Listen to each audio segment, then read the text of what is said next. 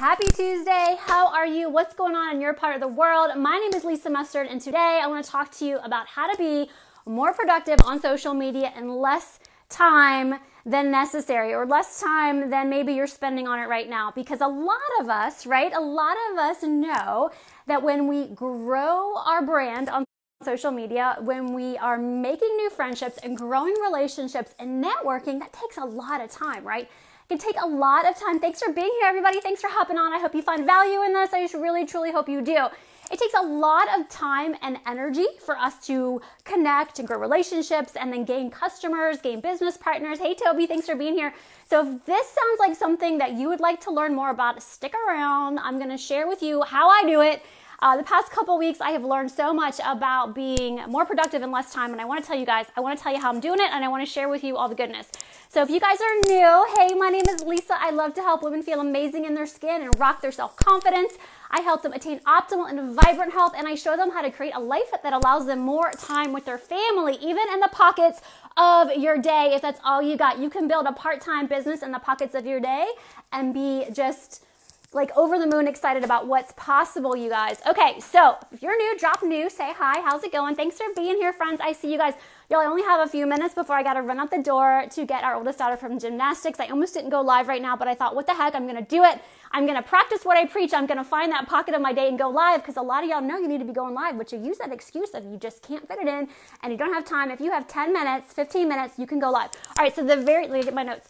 The very first tip that I have for you when it comes to being more productive in less time, when it comes to social media, go where your audience is, okay? Go where your audience is. Be on the platforms that you feel comfortable with and confident with, and then provide the value on those platforms. Don't worry about the Instagram and the LinkedIn and um, the WhatsApp, and I don't even know what else is out there focus on one platform at a time, okay? For the past couple years, I've been working really, really hard on building my social media presence on Facebook, and it has been awesome. And I love Facebook so much because I feel it's the best place to grow relationships it's very conducive, it's very fluid to making a new friend and then going over to Messenger and having a conversation and commenting on people's posts. I mean, it's very, there's so many little things you can do on Facebook to grow relationships. Let me know what your favorite platform is right now. Some of y'all probably love Instagram.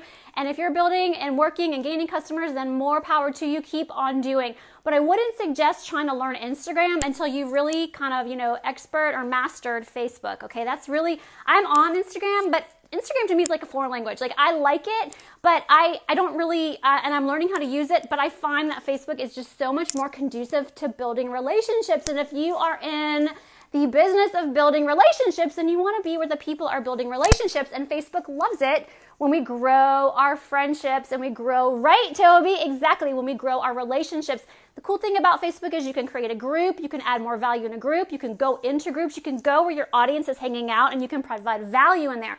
So first and foremost, that's my number one tip is hang out in the places that you are, uh, find that you feel like the most comfortable on, okay? Um, go to those places. I love Facebook. Okay, let me know where you're most comfortable on. Drop it below in the comments. Um, the second thing that you want to be doing, um, and this, you guys, the reason I talk about this, and I talk about this with my private coaching clients, um, is because I spent a long time trying to grow my presence on social media, especially on Facebook. And what I was doing, I was just I was scrolling. Like my thumb was hurting. All I was doing was scrolling, scrolling, scrolling, wondering how do I get seen? How do I get out there? Like how do I get noticed? How do I become um, how do I create my influencer status? How do I create a brand? So I really was like, okay, if I'm going to do this thing called network marketing, I got to learn how to. I know I love Facebook too. I'm so grateful for Facebook. You guys wouldn't be in my life if it weren't for Facebook. So I'm so super grateful for Facebook.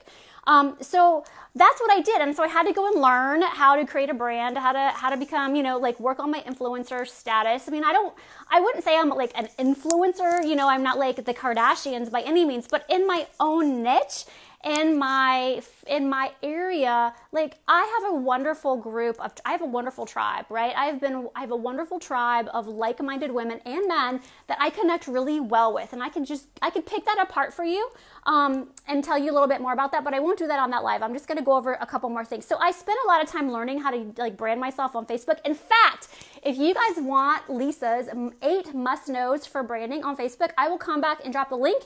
You can go and you can get my freebie on my website. You can go to lisamustard.com, scroll down the page, you'll see it. Get the free gift. You can go ahead and go and just get it right now. But it shares my my um, my eight must knows, and it kind of dives a little bit deeper into maybe thinking about how you're showing up on Facebook. All right, but next tip so, how do you be more productive? You create curiosity posts on Facebook. You want to create a curiosity post about what it is you do, who you help, the products you use, the benefits of the benefits. You want to create curiosity around it because you want people to have a conversation with you and reach out and go, Hey, Lisa, what is it that you do? I'd like to learn more about what it is that you do. You don't want to give away all the cookie, right? I mean, Brian Fryer, my coach for for I don't even know how long now. I feel like I've known the guy for 20 years, probably only been maybe two. But that's one thing that he taught me really fast was you don't want to give away the cookie. When you put your company name up, when you talk about the, the name of your products, people are going to go to Google and they're going to look them up and they're going to make a decision based on what Google shows them, not what you show them. So show them the benefits, show them the results. And I'm in health and wellness, so I speak to that, but you can do it in other niches. You can do it in skincare girlfriends. I got so many friends and hair and hair care. I see hair pictures all the time. And of course, it has me wondering, like, is that going to work for me too? So it's making me curious, right? Hello, do you see the psychology here? There's actually psychology going on in curiosity posting, right? So if you are in health and wellness, I encourage you create curiosity. Don't give away the cookie.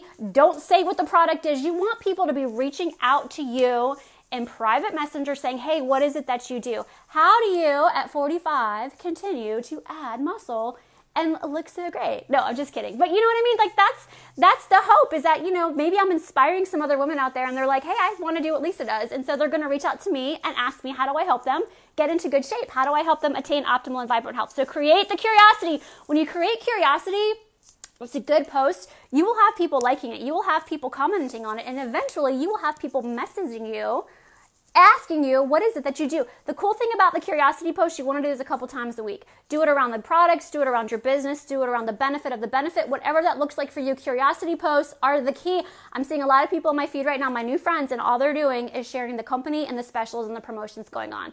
If that's working for you, keep going, but eventually that's gonna it's gonna put resistance up and people are gonna be like, oh, enough already, unfriend, block, moving on. Okay, I'm just saying, I've been around a while, I see it happen all the time. All right, so okay, the next thing about how to create, how to be more productive in less time. This is still with like the curiosity. You guys get really good at telling your story. Get really good at writing up a story post. Get really good at, at like being vulnerable. Get really good at being authentic. Get really good at telling your story. Write your story. Write your story. People love to read stories. My kids love to hear stories. Adults love to hear stories. Oftentimes in my work, I tell a story about someone who has overcome an obstacle and you know through counseling and through therapy has become a different person share your story share your story share your story. Do a like write your story out. Write it in five different ways. You know take it from a different angle. Share your story okay? I can't say it enough. Get really good at sharing your story because i want to connect with people who have um, who have had life experiences who have been through stuff who can show me what they've overcome. Those are the people i want to hang out with because they're inspiring. You guys get what i'm saying are you picking up what I'm putting down? I hope so. Let me know. Give me some give me some hearts, give me some likes if this is resonating with you guys. I only got a few more minutes and then I got to bust it over to gymnastics. All right. Another tip about being productive, set your timer. Set your freaking timer for when you get on Facebook. Set it, set it, set it, set it for 20 minutes. I have my girls set the timer on the stove. I have them set it for 20 minutes when I am just going to be talking with people you don't want to spend your day and your life on Facebook. I mean, you can, and I'm sure it's fun if you're bored or need something to do. But I'm a really busy woman. I got a lot of, I got a lot of, what do they say? I got a lot of um, irons in the fire. I got a lot of things going on. First and foremost, our face, our Go Live Facebook boot camp. We are still working on that, you guys. It is coming. I promise. We just want to make it awesome for y'all. So we are working on that. Me and my partner Michael, we got that coming. Um, my one-on-one coaching. You know, I'm busy, but I want, I love to connect with people. But I also know that I need to set a timer, or else I will be on Facebook all day long because I just love people, right? I just love people. I can talk to people all day. All right. So you also want to give engagement in those. Like maybe you set your timer for 20 minutes. Give engagement in 20 minutes, but give real, authentic engagement.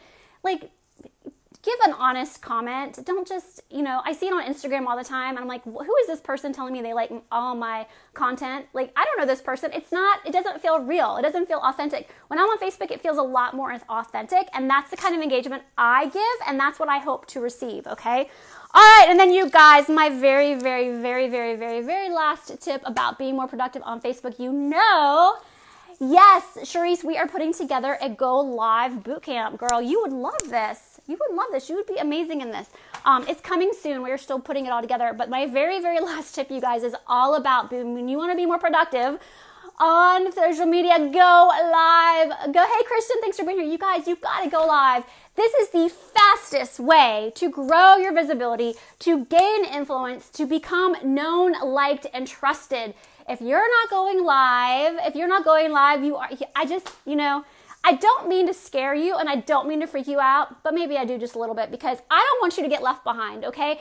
I don't want you to be, you know, three miles behind when, when everybody else is like, well, three miles ahead, right? I think if you're not going live, you're missing out on a huge opportunity. What, and this is why, and could, let me just share how this works. So when I go live, it is inevitable that I'm gonna get a bunch of messages afterwards saying, oh my gosh, thank you for your, this all happened in private messenger, y'all. Thank you for going live. I've been struggling with that. Thank you for sharing tips on intermittent fasting. Thanks for sharing the workout tips. Thanks for sharing social media branding.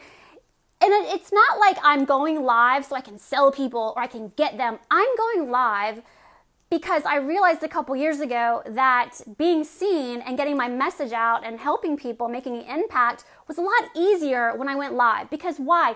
You guys see me. You hear me. Like, this is who I am. This is pretty much, I'm not as excited at the grocery store by any means or on the way to gymnastics, but pretty much, I mean, I'm in my work clothes today. I do have on flip flops, I take off my work shoes. But this is me. Like, this is Lisa Mustard. This is my home. You know, it's like, hey, come in, have a cup of coffee, let's hang out and chat. Like, you get to know, like, and trust people. Or maybe the complete opposite, right? Maybe the complete opposite when people go live. Maybe you're like, hmm, you know, I thought I liked her, but not so much. And that's okay. We're not going to be everybody's cup of tea. But I really, really highly, highly recommend if you want to cut your time on Facebook in half, if you want to be more efficient in networking, if you want to be more effective in talking with people, if you want to, you know, if you want to be more productive in less time, then you got to be going live. And I'm not saying you have to go live every day. No, no, no, no, no. I'm saying you have to just start going live. And you have to, once you start, don't stop. If you guys have noticed, I haven't been on um, Facebook a whole lot the past like two weeks because I'm being more productive and the time that I'm on Facebook, okay? So gone are the days of scrolling, going to look at what the leaders are doing and wondering what are they doing? Well they're working their tails off first and foremost. They're doing what we're doing. They're just doing it and the they're just they're just maybe more efficient maybe they're more productive and they probably have built their uh, influencer status to the point where people are reaching out to them. How did they get there? You guys it's been it takes years. It takes years sometimes but you can fast track your own results when you go live. I'm, I'm just, I promise you it will happen if you go. I can't say it will, I can't promise you it will happen, but you have a better chance of attracting like-minded people you have a better chance of attracting people who might be interested in your opportunity or your customers or as uh, um, as become customers if you go live because they get to see you hear you they can't feel you or touch you but it's really the next best thing I hope you guys found this helpful. I'm sure I'm forgetting some tips, but those are really my three to four tips. I got, you know, if you want my eight must knows for branding, go to lisamustard.com, scroll down the page, go to get my free gift, and you can get all that information. Um, Facebook Go Live Bootcamp is coming soon. It's coming so soon. I'm really excited to roll this out for you guys. It's going to be awesome. And if you are wondering, like, how do you build your audience on Facebook, then I am going to come back and talk to you more a little bit about that. I got some tips, I got some ideas, and I hope you guys have a great, great Tuesday. Thank you everybody for being here. Thanks, Toby. Thanks, Cherise. Thanks everybody for being here. Go back and watch from the beginning. Thanks, Rita. I appreciate it. Oh, thank you so much. I really appreciate it. Uh, yeah, I know. You can't. My husband would not like it if people started to touch me. I mean, that would not be a good thing, right? Like, where my brain going with that? You guys, I just appreciate you all so much. This is why I love Facebook. I love my new friends. I love connecting. I love sharing. You guys have a great day, and I will see you guys super soon. Take care.